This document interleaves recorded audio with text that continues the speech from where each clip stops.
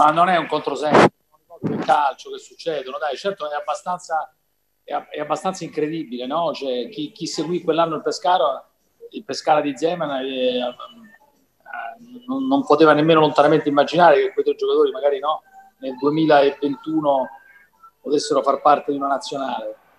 Eh, però no, ma non, non, farei grandi collegamenti tra questa cosa, tra, anche perché molti giocatori, non so, Insigne non era del Pescara, no?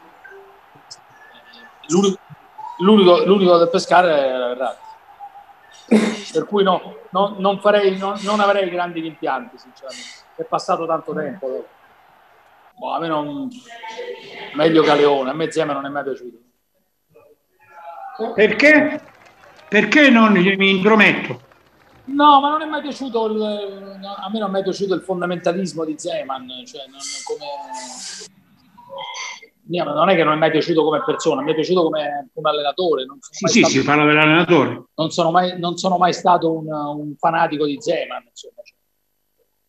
Mi, mi, sembra uno più, ecco, più, più pragmatico Galeone, eh. anche lì un altro epoca, un'altra cosa, però Zeman non, non mi ha mai entusiasmato, insomma, eh, come, come, come, idea di gioco, eccetera. Capisco che ha fatto, ha fatto vedere ha fatto vedere un Foggia eccezionale, dei momenti nella Lazio molto belli, anche a Pescara un anno, barra due forse buoni.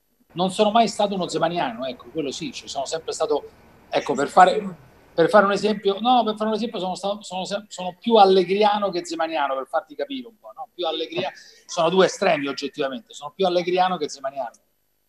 No, sono più allegriano perché, perché, non, perché l'idea della, della l'idea che c'è adesso, che ha anche Pirlo, per esempio, del, del possesso palla continuo, dell'avere sempre la palla, eccetera, è una cosa che non sopporto.